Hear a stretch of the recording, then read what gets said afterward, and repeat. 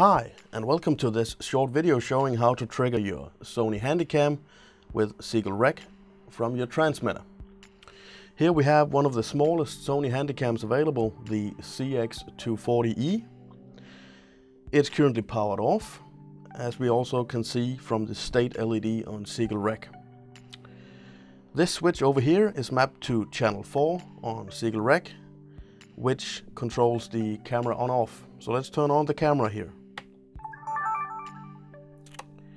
The first switch over here is set for the record start stop.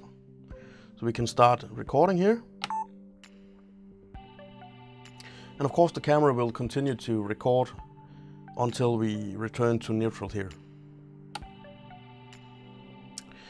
The second switch up here is set to the manual photo mode on Seagull Rec, where it actually functions the same way as the photo button on most Sony Handycams, where it actually has a two-stage trigger like on a still camera, where you first, if you flip the switch to the to the middle position, have an autofocus, and the upper position triggers the photo. This can also be used together with the record. So while you're recording, might be doing an inspection job where you need to document with some still pictures also. You can then, while recording, also take a picture.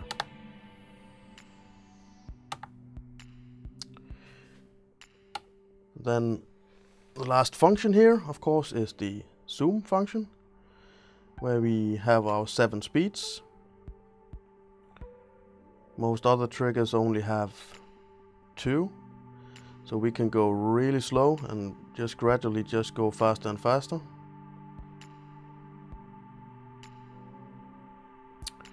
That is all for this short video showing how to control your Sony Handycams.